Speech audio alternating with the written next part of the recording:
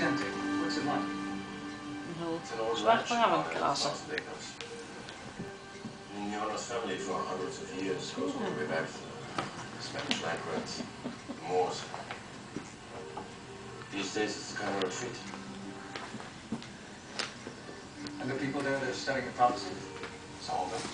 What are you talking about? So far we've discovered eight scrolls. Each one contains a certain truth about our existence, called insights. Insights, the prophecy says, we all don't understand. Look, I could describe these insights to you right now and you would hear my words, but you have to do more than that. You, you have to experience it for yourself. The prophecy has to happen to you.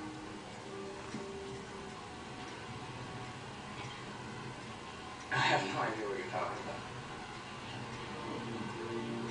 I'm talking about seeing the world, Joe. The way it really